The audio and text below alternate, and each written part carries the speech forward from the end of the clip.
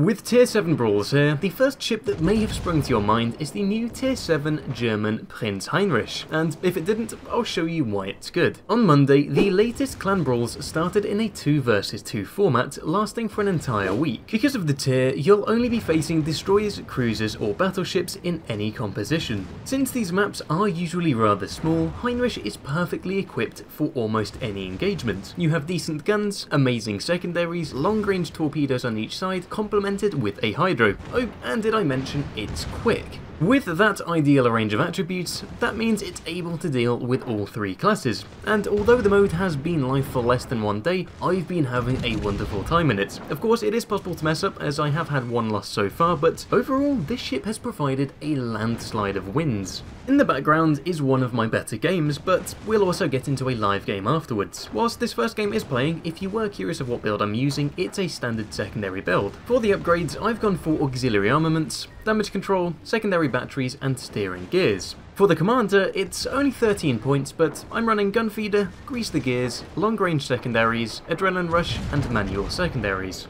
And with that replay coming to an end, we'll now move on to a live game. Now, the nature of these games are very quick, so there's a good chance that this will probably end within about 5 minutes. You do have around 15 minutes for if somehow you don't win or lose in that time, but usually they are very quick. Now the lineup here is quite interesting because we've got pretty much an identical layout. So we've got a Flint and me in a secondary German ship, and so do the enemies. However, they are using a Scharnhorst, which is a premium ship, so we're going to see which of the two are going to come out on top, the premium or the new tech line. So how I'm going to play this is I'm going to go a little bit wider here because both of these ships have got torpedoes, so the Flint has got like the 10 kilometer torpedoes and the Scharnhorst has got 6 kilometers, whereas we do have a bit of an advantage because we do have 10 kilometer torpedoes, so that could possibly prove to be quite good. And also we've got Hydro, so if we can get sort of uh, any info on torpedoes coming in, we've got a wider space to sort of manoeuvre. Now the Flint does also have smoke, so we're going to be supporting them as best as possible, and it's really just going to be a battle of attrition, and hopefully we can get into this cap first, and maybe they go around this side, because if they go onto the B side, it's actually going to take them a little bit longer, because this cap is a little bit smaller, so we should be able to get the initial advantage, but we'll see what happens once this Flint does go into this cap. Of course, we are also rather quick as well, so we can also stay relatively close to our cruiser over here, but we'll just really have to see what happens and where we can start spotting stuff. The secondary range is 9.5 kilometers, and okay, that is the first ship caught off guard. Hopefully we don't get spotted. No, we haven't.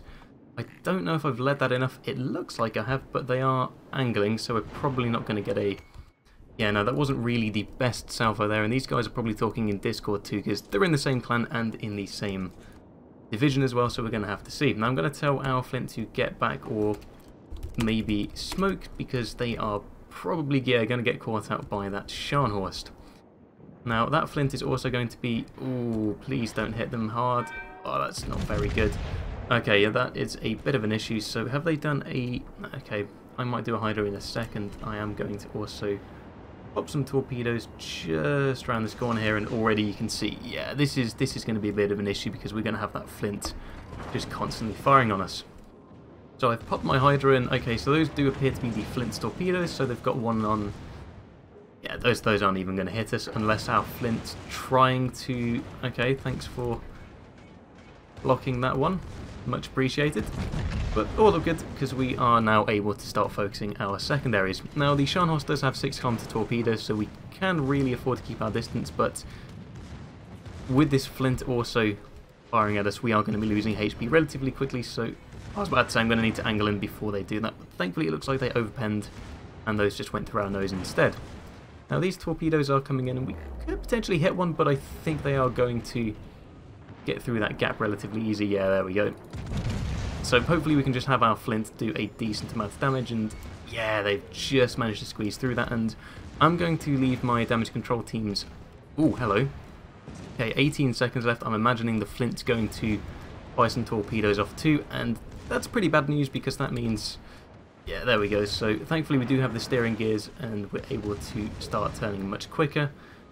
Yeah, there we go. So we're going to focus our fire on this flint as they are probably going to be the most dangerous out of the two. Now this Scharnhorst is coming in for a second run of torpedoes. I don't know if we're going to be able to survive this or not, so what I'm going to do is... I'm just going to punch it forward. Hopefully we're... Yeah, there we go. These are coming in.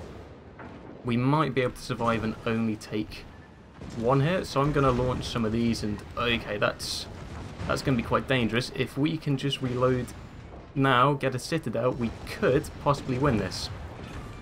We've got five seconds left. I don't think we're going to be able to do it in time. That's going to hit us, and we just lost. But you saw how close that was considering how fast our Flint died, and that's really just how quick these games go.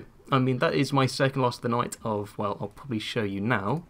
Yeah, so you can see how many wins I've had there. I mean, it's more just the fact of being talking you through what my decision making was there, but overall, this has just been a very, very good chip to play. But that really concludes this video because I just wanted to show you the Heinrich and Brawls, but that is it. So if you enjoyed, make sure to leave a like, and as always, I hope you have a great rest of your day. I'll see you in the next one.